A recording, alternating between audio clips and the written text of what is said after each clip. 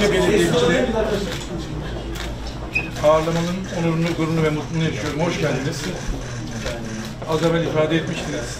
Ee, evet, yıllardır adaların, adalıların özlem duyduğu, adaların içinden yetişmiş, örgüt için içinden yetişmiş, ilçe başkanlığı uzun süre yapmış ve şimdi de en büyük gururumuz Türkiye'nin Türkiye Cumhuriyeti'nin kurucusu ve aynı zamanda Cumhuriyet Halk Partisi'nin kurucusu Gazi Mustafa Kemal Atatürk'ün partisinde siyaset yapmanın üyesi olmaktan, ilçe başkanı görevini yapmaktan, şimdi de belediye başkanı olarak görev yapmaktan büyük bir onur duyuyorum.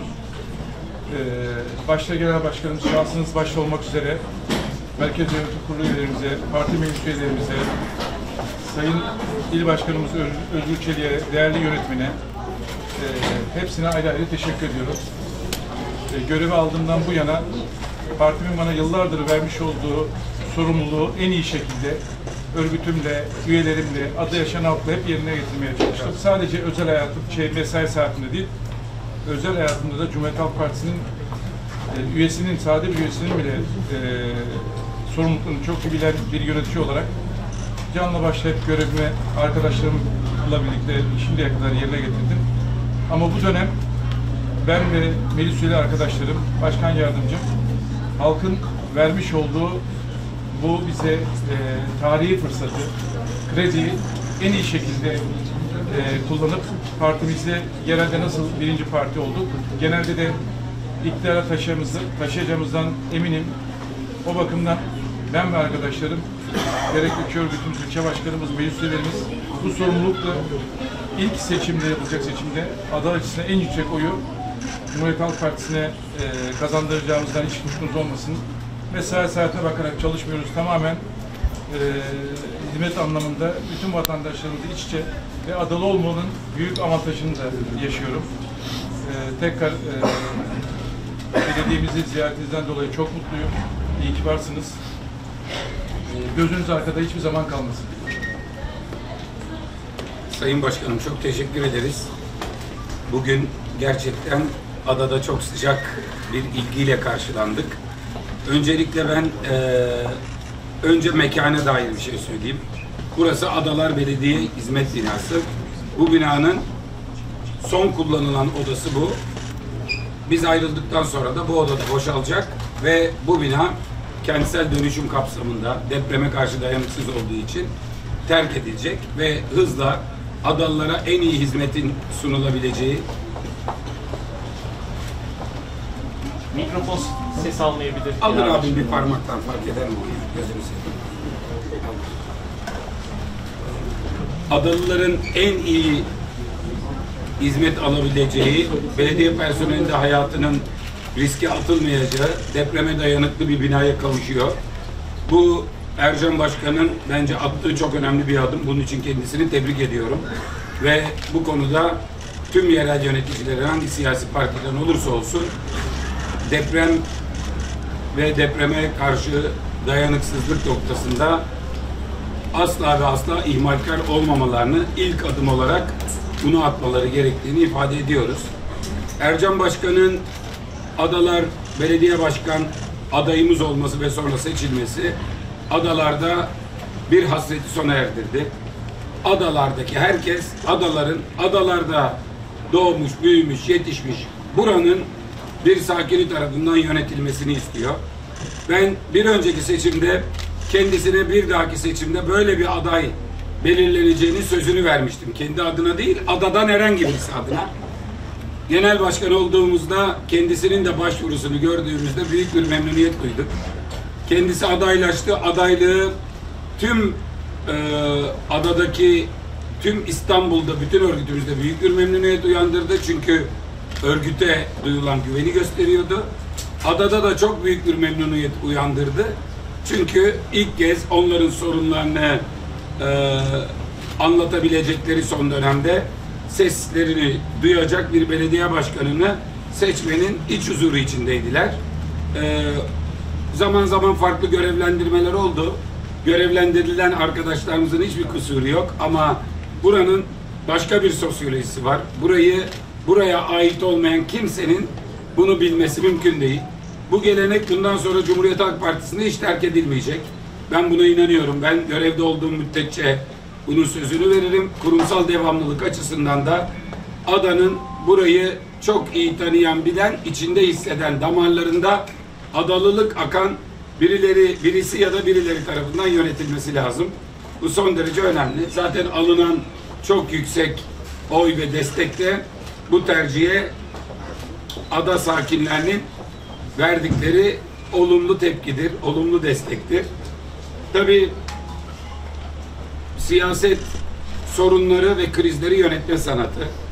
Adada bundan 5-6 yıl önce geldiğimde e, inanılmaz tartışmalar vardı. Faytonların kalmasını isteyenler, hayvan hakkı savunucuları çekilen ızdırabı ama buraya gelecek ulaşımla ilgili yapılacak tercihlerin ne olacağı, nasıl sonuç doğuracağı tartışılıyordu. O tartışma bu dönemde de e, elektrikli araçlarla çözüldü ancak aracın boyutu konusunda bir e, itiraz vardı. Bu krizi Sayın Başkan hem partimizi çok iyi tanıdığı için hem bizleri çok iyi tanıdığı için hem ada halkının ne istediğini çok iyi bildiği için belki yükü biraz fazla üstüne alarak kendisi üzüldü ama kimsenin üzülmesine izin vermedi. Çok önemli bir gayret gösterdi ve şu anda adada başta korsan motorlu cihazlar, aletler, motosikletler işte e, bir takım e, ruhsatsız araçların ortadan kalkması, bir takım sayısı belirsiz tekerlekli aracın trafikten çekilmesiyle trafiğin rahatladığı, şu anda ulaşım sorununun büyük ölçüde aşıldığı, bir küçük takviyeyle daha tamamen ortadan kalkacağı söyleniyor. O konuda biz de katkı sağlayacağız. Ee, daha sonra e, adada genel kabul gören, daha küçük boyutlara sahip, Çin'de üretilen ama yokuş çıkamayan, şimdi Türkiye'de yokuş çıkanın da üretildiği ve ruhsatlandığı anda adaya kazandırılacak bir genel mutabakatla sorunu çözecek bir noktaya gelinmiş. Bundan çok çok mutluyuz. Ben krize Ercan Başkan'ın örgütüne ve adasına bağlılığına inanarak yönettim. Ona sorduk. O ne diyor diye baktık.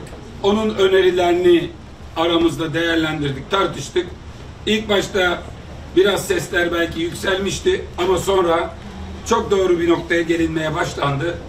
Belki bundan bir yıl, bir buçuk yıl sonra herkesin çok üzerinde mütabık olduğu bir ulaşım sistemimiz de olacak. Hem araçlarıyla hem yol yoğunluğuyla ama ben bugün gözümle gördüm. Hepiniz görüyorsunuz. Eskiden sağdan soldan geçen e, her biri birbirinden farklı üç tekerli, dört tekerli, şarjlı araçlar varken şimdi yollar yayalara kalmış durumda ve toplu taşımaya kalmış durumda.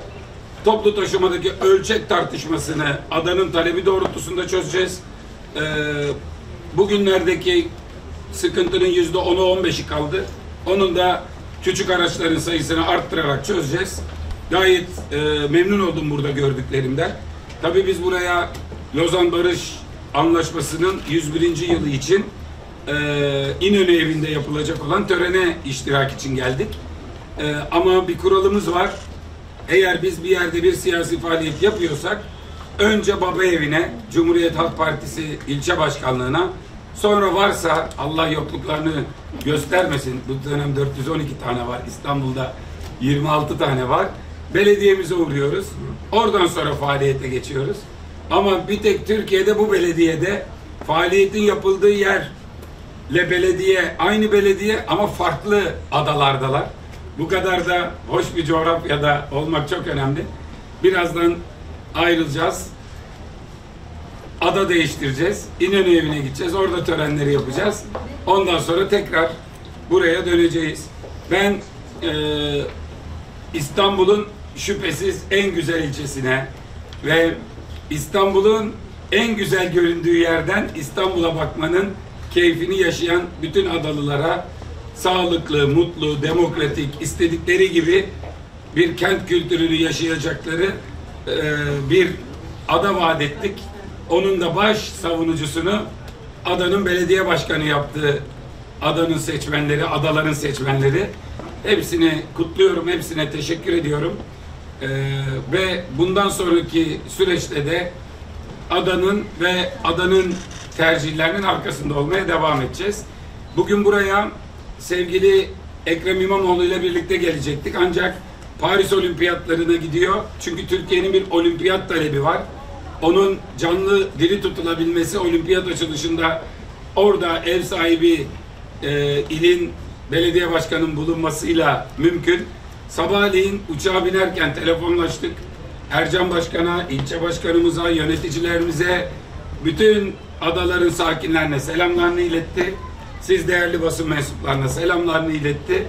İlerleyen zamanlarda yine güzel günlerde bir arada olmak ümidiyle hepinize teşekkür ediyorum.